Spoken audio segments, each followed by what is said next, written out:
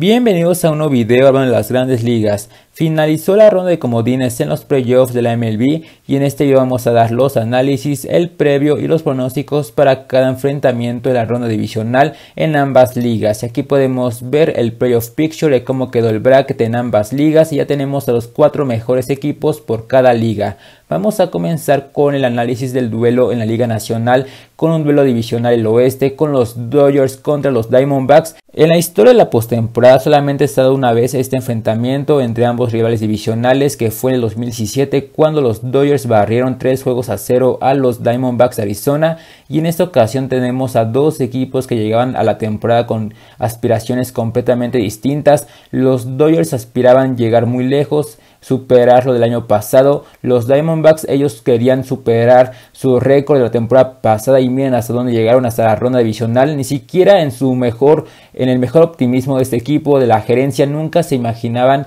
que a llegar tan lejos. Eliminaron a los cerveceros, han tenido una gran temporada y pase lo que pase, fue un gran año para el equipo de Arizona y para sus jugadores jóvenes que pudieron mejorar bastante en este año. Pero para esta serie vamos a ver a dos equipos completamente distintos, con, con rosters completamente, pues muy, muy distintos, diferentes, porque el equipo de los Dodgers está rodeado de talento, con grandes jugadores. El equipo de Arizona, su fuerte es el pitch abridor con Zach Gallen, con Merrill Kelly, pero también el bateo es bastante oportuno y lo demostró en la serie contra los cerveceros con grandes jugadores como Ketel Marte, Gabriel Moreno, Gurriel, Corbin Carroll, Emanuel Rivera, Alec Thomas. Es un equipo que en esa, temporada la escuadra mejoró bastante con sus prospectos, pudieron mejorar su rendimiento respecto al año pasado, pero los Dodgers son un super equipo, tanto en la ofensiva, tanto en el picheo, tanto en el bullpen, tienen un mejor talento en conjunto comparado al equipo de Arizona. Esta serie se la van a llevar los Dodgers de Los Ángeles. Los Dodgers son un equipo realmente muy pero muy bien formado, que este equipo sus aspiraciones son ganar una serie mundial ahora sí una temporada completa y Clayton Kershaw va a iniciar su último baile, esta puede ser su última temporada, va a iniciar el juego 1 el día sábado y va a estar preparado para lanzar un gran juego y la gran ofensiva de los Dodgers liderada por Mookie Betts, Freddie Freeman, Will Smith, JD Martínez le va a hacer mucho daño al equipo de los Diamondbacks porque durante la temporada regular Zach Gallen durante 10 entradas que lanzó ante los Dodgers permitió 11 carreras. Merrill Kelly le fue bastante mejor que a Zach Gallen ya que permitió menos carreras pero en su última salida contra los Dodgers en agosto permitió 7 carreras frente al equipo angelino por lo cual los Dodgers conocen bastante bien a este equipo y esta serie con el talento que tienen con el gran roster que se han armado durante las últimas temporadas bajas, los Dodgers van a ganar esa serie 3 juegos a 1 y van a avanzar a la serie de campeonato. Y ahora sí, vamos con la revancha, el duelo que todos queríamos ver. Lo queríamos y aquí lo tenemos. Los Phillies contra los Bravos. Estuvieron aquí la temporada pasada, serie divisional de la Liga Nacional. Los Bravos llegaban como favoritos, arrancaron la serie en dos juegos en Atlanta, luego los Phillies se eh, regresaron la serie a Filadelfia empatados a un juego y Filadelfia acabó la serie de local ganando los últimos dos juegos y en esos dos juegos en Filadelfia Atlanta ni siquiera pudo competirle a Filadelfia porque Phillies tuvo un gran nivel durante la postemporada, durante esa serie divisional, ahí fue donde se empezaron a encender. En el juego 3 de la serie divisional, Spencer Strider, uno de los mejores pitchers de la Liga Nacional y que la temporada pasada acabó segundo en el novato del año, Tuvo una de sus peores salidas de toda su carrera ya que le pegaron a palos durante esa salida en Filadelfia en el juego 3. Recordemos ese bat flip de Rhys Hoskins en ese home run que le pega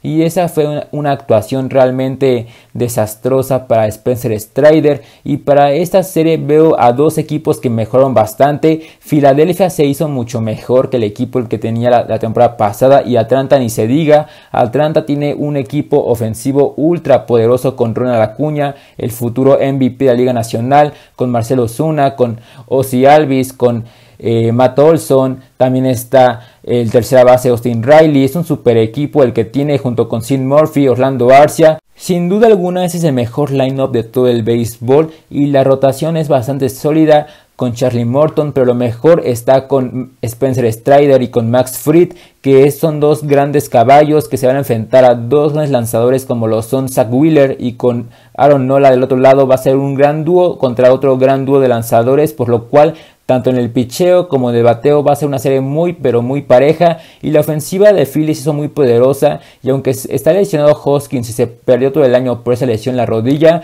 está Tera Turner que con Tera Turner es la diferencia para ganar una serie mundial. Bryce Harper, que es su mejor jugador, se está encendiendo a la hora buena y esta es la serie más difícil de pronosticar porque son dos grandes equipos, dos equipos que se conocen bastante bien, juegan 13 veces al año, se conocen pues de toda la vida porque son rivales divisionales, pero para este partido, para esa serie me quedo con los Phillies. Y los Phillies van a dar la sorpresa porque es un equipo que está llegando muy encendido a la postemporada y lo vimos la temporada pasada. Este, en, en esta postemporada con ese formato donde los equipos divisionales que ganan su división y quedan con esa semana de descanso no llegan con mucho ritmo a la postemporada y los Phillies están jugando bastante bien, barrieron a los Marlins, el equipo es bastante, es bastante sólido, mejoraron bastante con respecto al año pasado en la temporada regular y el roster es mucho mejor y los Bravos tuvieron, tuvieron una histórica temporada regular con grandes récords individuales como el Acuña, como el de Marcelo Zuna, y también Matt Olson tuvo una temporada histórica con más de 50 cuadrangulares, pero para esa serie me quedo con los Phillies.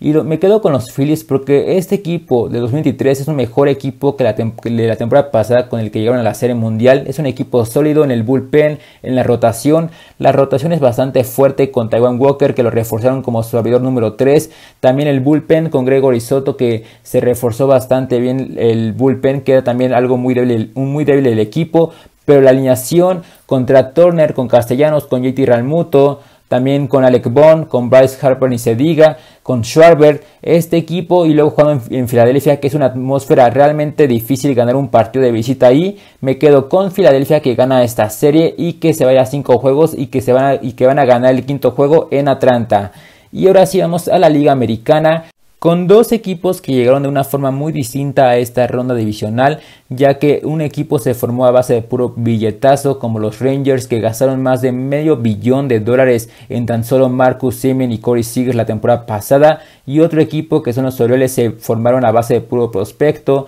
de puro pick alto en base a las temporadas malas que tuvieron y los Orioles tuvieron la mejor temporada en los últimos años en la historia de la franquicia, tuvieron más de 100 victorias, fue una temporada histórica para ese equipo que muchos no creían en ellos. Es el equipo de América, los, los Orioles, sin gastar nada, jugando solamente muy bien béisbol, sin nada de dramas fuera del, campo. Este equipo realmente es especial en los Orioles, con Ali Rochman, Gunnar Henderson, una rotación muy sólida, con el novato también Grayson Rodríguez, luego también en los jardines con Cedric Mullins, también está el mexicano Ramón Urias, el venezolano Anthony Santander, que ha sido parte fundamental de este equipo, Austin Hayes, Ryan Moncastle. Ha sido un equipo especial este que han formado en Baltimore, pero se van a enfrentar a una gran ofensiva como la que, la que tiene los Rangers de Texas, que fueron el equipo que más All Stars mandó este año a, Seattle, que mandaron a seis jugadores All Star en esa temporada con Adolis García, Corey Seager, Marcus Simeon, también está el catcher eh, pues Jonah Haim, también está Josh Young. Ha sido un equipo también muy especial el que han formado en los Rangers, porque aunque se formó a base de puro billetazo,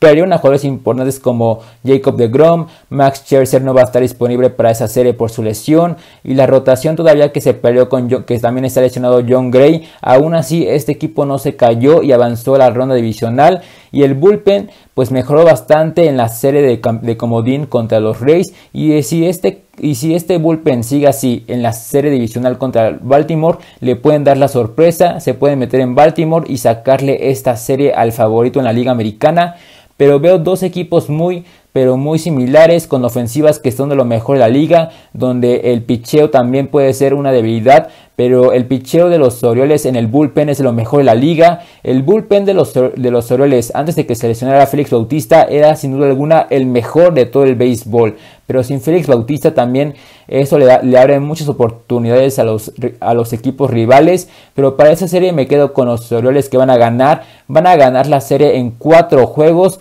Y a pesar de que no tienen experiencia en la postemporada, van a derrotar al equipo de los Rangers y se van a meter a la serie de campeonato. Y ahora vamos con la última serie entre los mellizos de Minnesota contra los campeones de la Serie Mundial, los Astros de Houston, que Houston es un equipo que no importa cómo llegue, lo importante es que juegue en octubre, porque este equipo sabe ganar en octubre, sabe ganar campeonatos, que es lo más importante, es un equipo muy sólido, se enfrentó en el 2020, ahí Houston ganó la serie de comodín dos juegos a cero, donde barrió a Minnesota de visita, y este equipo de Houston es bastante fuerte, con una gran rotación con Frank, con Valdez, con Justin Verlander, con Christian Javier, una gran alineación con Joran Álvarez, José Altuve, Alex Bregman, Kyle Tucker, Jeremy Peña. Y Jeremy Peña se encendió la temporada pasada en la postemporada y veremos si lo puede volver a hacer. Pero este equipo son los campeones, no podemos apostar contra ellos. Son el mejor equipo en la postemporada sobre cualquier otra escuadra. Y Mellizos también tuvo una gran temporada, jugó bastante bien en la serie divisional, en la serie de comodín contra los azulejos.